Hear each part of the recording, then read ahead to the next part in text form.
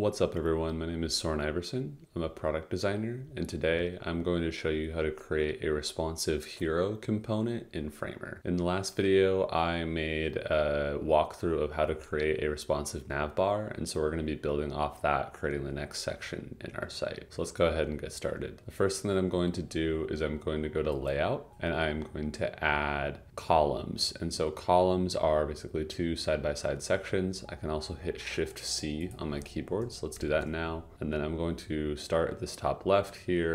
I'm gonna drag this over. Let's have this be about 600 pixels high. I'm gonna change this here like so. And then you can see I've got these two sections. One is a darker blue and one is a lighter blue. That's just to indicate that there's two frames here.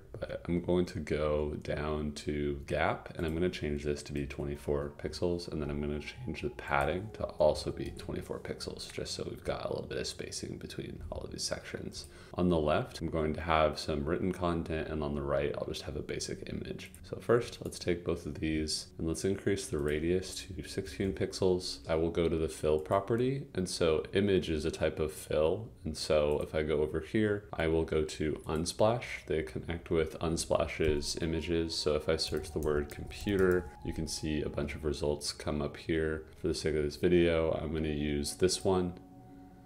And then when I click, you can see that image has been applied like so. On the left side, I'm going to add some text. So let's go to this text tool up here and I will say something like everything you need to know when building a Framer website. Let's change this to be a little bigger. I'll make this 32 pixels actually, actually even a little bit larger, which is just a 40. So I want this text to fill my container. So I'm actually going to go to frame and I'm going to add a stack here. And then I'm going to take this frame and I am going to remove it. And then you can see the text all of a sudden gets automatically centered. Again, stack is similar to auto layout. So I'm now going to go to this width section. And I'm going to have this fill the content of the container. And so now it wraps perfectly. And you can see it does that for desktop, tablet, and mobile. The next thing I'm going to do is I'm going to add another set of text. So I'm going to duplicate this. And instead of it being left and right, I'm going to have these stack on top of each other. And I am going to change this headline to actually say get started building websites in Framer. And then I'm going to change this copy here to be body copy. So let's change this to regular and then we'll change the size to 16. And then now if I zoom in a bit, I've got this headline, I've got this body copy and looks like I spelled website wrong. So let's change that. We'll add a period. And then I'm going to change this black to be a little bit lighter gray, just so we have a little bit of contrast between the headline and body copy. And then I'm going to add a button here. So let's go to insert and we'll go to type button. And if I drag in this button element here, you can see this says click. I want to change the styling of this a little bit. So let's go ahead and select the type here and we'll change this to be Inter. And then we'll change the size of this to be 16 pixels as well. And then the next thing I'm to do is I'm to change this CTA to say get started. And then I want this all to align with the left. So if I go over to the layout section and I go to align and I go to left, you see everything left aligns. And, and right now this is left aligned with the page and it's within this container. It's within this other container.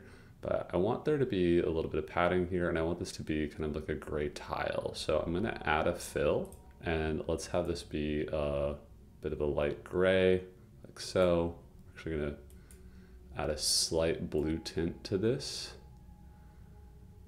like that. And then let's change the radius here to be 24 pixels. I'm actually going to change this radius on the image to be 24 pixels as well.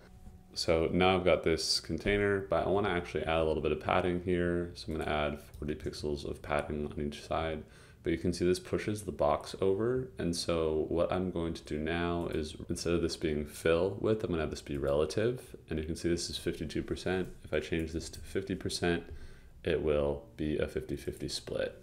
So these will be the same size again. Then I need to add this radius here. And so now I've got this card on this side and I've got this card on this side.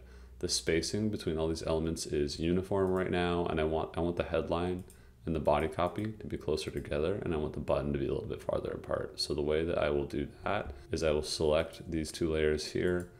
I will add a stack and then I'm gonna change the gap to only be eight pixels. And then I'm gonna go up to this rows section and I'm gonna have the gap be 24 pixels. And then you can see the get started button is a little bit below the headline and body copy. So this is all we need to do to get this set up on desktop. But if we go over to responsive, you can see things start to look a little weird. So on tablet, one thing that I'm going to do is I'm going to change the height of this to be a little shorter, say 500. I'm going to reduce the padding of this to be only 24 pixels and then I'm going to reduce the type size here to be 28 instead of 40 and we'll keep this as 16 pixels but then I'm going to need to change the width here. So let's have this be let's try 300 that's a little bit too short Let's set this to be 333 pixels. And so now we've got this side-by-side -side card and the sizing here is good for tablet. And then on mobile, you can see things really start to look strange. So what I'm gonna do here is I'm actually going to make sure that these components are flush with each other. The way that I'm measuring between spaces is I'm holding the option key and then hovering over another element and that little pink thing shows up. So if I hold option down, you can see it shows up if I let go, it goes away. I like that these are vertically stacked on top of each other rather than horizontally, but I want this to be above this card. So first I'm gonna take this and I'll move it up here. So let's take this row here and I'm gonna change this to fill, should bring it back. And then I need to change this text to be much smaller and have there be less padding. So let's change the padding to be 24 pixels again, and then let's change this type size to be 28 as well. And then we will have this whole section fill the container like so.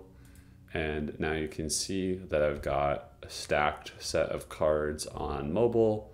They are horizontally laid out on tablet and they're also horizontally laid out on desktop. So if I hit play, I've got my site, which I can expand.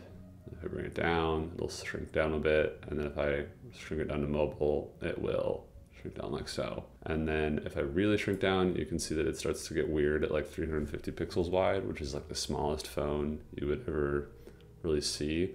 But to fix that, to fix that cropping issue, what I need to do is I need to select this layer here, which has both of the headline and the body copy, and I need to change this to fit content. And then if I go back and hit play again, I shrink this down, you'll see it'll just start to stack more and more. There aren't many phones that have a screen that's this small in size, so we should be good with breakpoint that's around, let's say 375 pixels wide. That's the standard size for the iPhone 11 Pro. This is looking pretty good. And the height for that is typically 812, so all of our content is fitting within the viewport. But that's it. You've now created a hero component for desktop tablet, and mobile, and the design is fully responsive.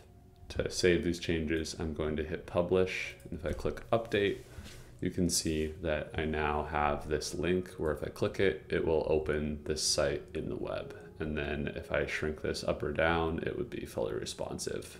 Thanks again for taking the time to watch this video. I hope that you now have a better understanding of how to use Framer to create responsive design for desktop, tablet, and mobile, and that you feel like you could create your own hero module if you needed to. I'm going to be making more Framer videos like this soon, so if you haven't already, please like, comment, and subscribe.